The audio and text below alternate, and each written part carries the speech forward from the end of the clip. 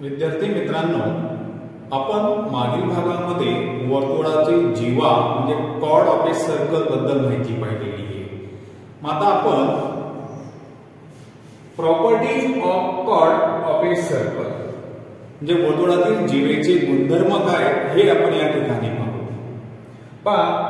ओ केंद्रबिंदू असलेलं ओ सेंटर एक वर्तुळ आपण या ठिकाणी तयार केलं. बी ए बी या ठिकाणी आपण काढली आता वर्तुळ केंद्र वरून आपण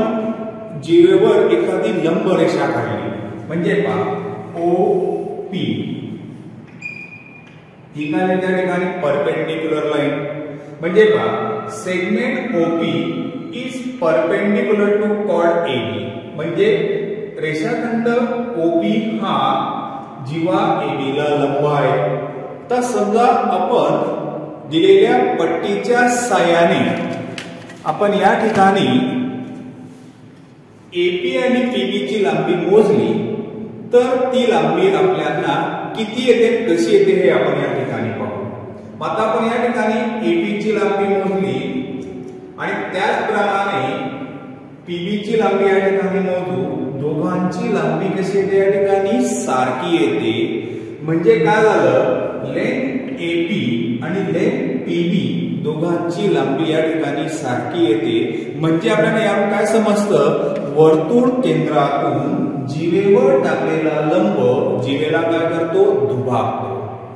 म्हणजे पहा the perpendicular drawn from the centre of a circle to its chord by centre chord वर्तुळ केंद्रातून जीवेवर टाकलेला लंब जीवेला दुभागतो. म्हणजे त्या जीवेच्या दोन सारख्या भागांमध्ये काय होतं? या ठिकाणी विभाजन होताना आपल्याला दिसून येतं. नेक्स्ट समजा आपण ओ केंद्रबिंदू असलेले वर्तुळ काढलं. मग त्या ओ केंद्रबिंदू असलेल्या वर्तुळामध्ये म्हणजे पहा या ठिकाणी कॉड ए बी घेतलेली आहे आणि त्या कॉड ए बी चा पी हा काय आहे मध्यबिंदू आहे. पहा point P is a mid point of code A B म्हणजे दिलेल्या जीवेचा पी हा मध्यबिंदू आहे. आता पहा वर्तुळाचा केंद्रबिंदू ओ आणि त्या कॉडचा मध्यबिंदू म्हणजे जीवेचा मध्यबिंदू यांना जोडणारी रेषाखंड आपण काढली. आणि का?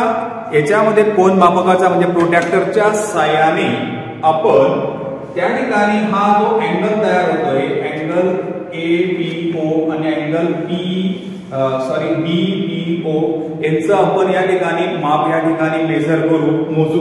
म्हणजे या ठिकाणी आपण ह्या ठिकाणी पी वर ठेवला, म्हणजे हा किती या ठिकाणी? नाईन्टी इकडनं सुद्धा हा मोजला नाईन्टी डिग्री पाकाला या नव्वद अंशाचे कोण आले म्हणजे हा APO and angle P BPO are right angle म्हणजे आपल्याला या ठिकाणी काय मध्यबिंदू यांना जोडणारी रेषाखंडामुळे.